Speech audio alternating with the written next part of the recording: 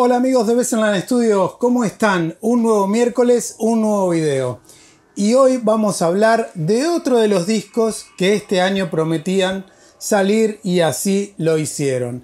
Vamos a hablar de 10,000 Volts de Ace Frehley, el guitarrista de Kiss, o ex guitarrista de Kiss. Para mí va a seguir siendo el gran guitarrista de Kiss. Este disco fue producido por Steve Brown, que es un productor, guitarrista y compositor que tocó con Def Leppard en, en el 2013, reemplazando a Vivian Campbell cuando estuvo enfermo. Además es un guitarrista que viene tocando en la escena desde hace muchísimos años. Tiene muchísima experiencia y además es un productor que es muy detallista. Se nota mucho en las voces, se nota mucho en los sonidos de guitarra, se nota mucho en la producción de batería. Es un tipo que se ve con bastante intensidad a la hora de trabajar. Yo estuve viendo una nota de Steve Brown hablando acerca de 10,000 volts. Y una de las cosas que él cuenta es que durante su trabajo como productor y especialmente con Ace, tuvo que ser una persona de carácter, vamos a decir. Que tuvo que imponerse y decirle a, Ace, por ejemplo, esto que querés poner en la letra no está bueno, o vamos a cantar esto de nuevo, o cosas significativas de la producción que a la hora del resultado final son importantes, pero que no todos los, los artistas ni las estrellas de rock son tan fáciles de domar, digamos, a la hora de tener que decirles, che, mira, me parece que esto que estás haciendo no está bueno, vamos a cambiarlo o vamos a tomar otro camino. Entonces, vamos a arrancar analizando el disco tema por tema, brevemente para no cansarlos, pero más o menos dándole un panorama de todo lo que el disco les puede ofrecer. 10,000 Balls, como ya sabemos, es el primer corte, primer video, fue un temazo absoluto ya desde el inicio, cuando yo lo vi dije esto promete, se nota muchísimo ahí la producción. Les voy a dejar por acá la tarjeta porque ese video ya lo analizamos, ese tema ya está analizado en el canal. Tema 2, Walking on the Moon, lo mismo, el mismo caso. Es un tema que ya analizamos, que tiene un video que a mí me había parecido bastante gracioso, que es el de los extraterrestres. Realmente es un tema de hard rock americano muy lindo, pero a nivel letrístico por ahí o temática no es de lo más... Eh, no es que te va a dejar un mensaje eh, que te va a cambiar la vida, vamos a decirlo de esa manera. El tema 3 es Cosmic Heart.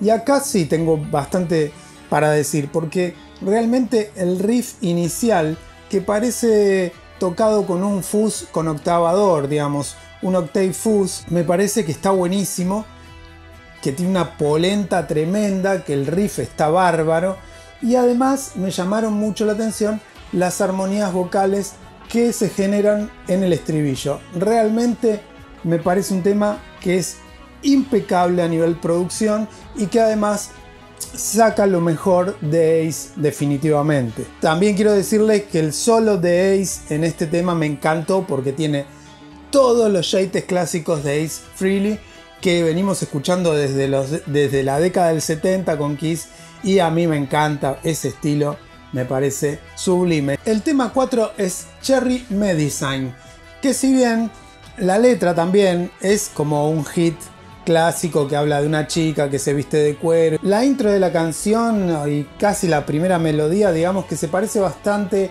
a 2000 Man, Hombre del 2000, la canción de los Rolling Stones que Kiss versionó en su momento. Y también con esto de vestite de cuero, bla bla de la letra, hace como cierta referencia a Shock Me, también canción de Kiss. El solo en esta canción es un solo clásico de Ace, super pentatónico, con todas las características de Ace Freely que vienen desde los 70 hasta el presente. La canción número 5 del álbum es Back Into My Arms Again, que es una canción que es lo más parecido a una balada que tiene el álbum. Y por supuesto, como en toda balada que se precie de tal, tiene las rítmicas tocadas con guitarra acústica. Dicha canción sale de un demo de Ace de 1987, o sea que tomaron esta canción de aquel viejo demo y la trajeron al presente. La canción número 6 es Fighting for Life y se trata la letra de la dura lucha o la dura vida de Ace por haber crecido en el Bronx y haber formado parte de alguna que otra pandilla. Es una de las canciones más fuertes del álbum y en lo que yo estuve viendo en las redes es una de las que más gustó en general a la gente. Tiene una estructura clásica de rock and roll y es por ahí la canción más setentosa del álbum, casi diría. La canción número 7 es Blinded y es mi favorita del álbum. ¿Por qué? Porque es la más Kiss de todo el álbum, me parece. Y es ese Ace Frehley que componía para Kiss, además.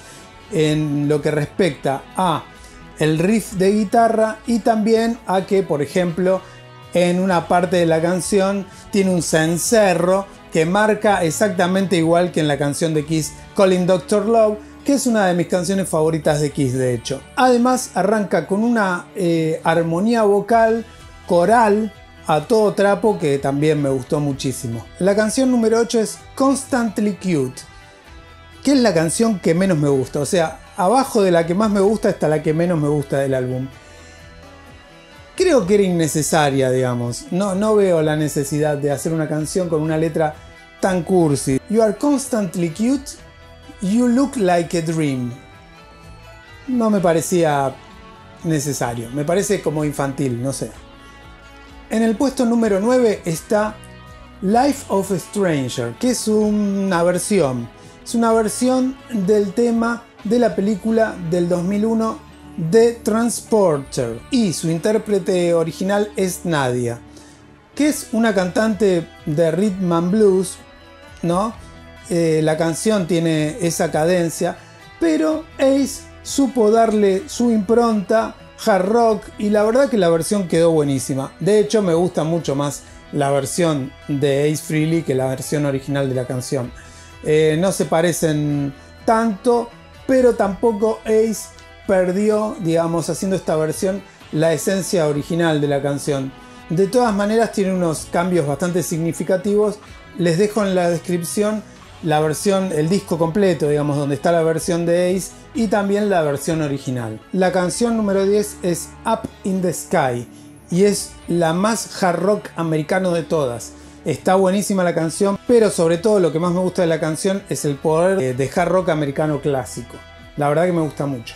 Por último, y como cierre del álbum, la canción número 11 es Stratosphere, que ya es algo que se viene repitiendo en algunos álbumes Ace Freely, el cierre con canciones instrumentales. Me llamó la atención que también esta semana, el lunes, hicimos el análisis del disco solista de Mick Mars, les dejo por acá la tarjeta si no lo vieron, que también cierra con un instrumental.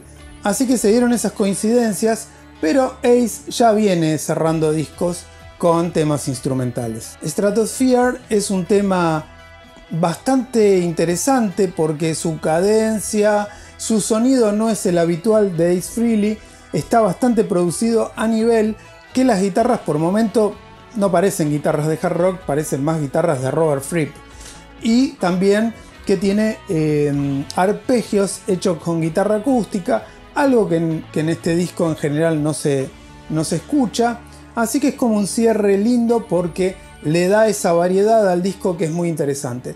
También lo que podemos decir que la producción de Steve Brown le dio a este disco una variedad estilística, rítmica, más que nada, eh, bastante interesante al álbum. También tenemos que decir, como, como cierre o como conclusión, de que no es un álbum que filosóficamente te va a cambiar la vida. ¿Por qué quiero decir esto? Porque las letras son las típicas letras pasatistas, eh, cerveceras del hard rock, ponele. Pero de todas formas es un disco de rock, de hard rock, muy interesante con un sonido y una producción impecables, muy al estilo yankee, que ponen toda la carne al asador y que laburan de una manera así, perfecta, finísima en lo que es producción, en lo que es mezcla, en lo que es mastering. Esos álbumes generalmente son el estándar de audio después para todo lo que se hace durante ese año.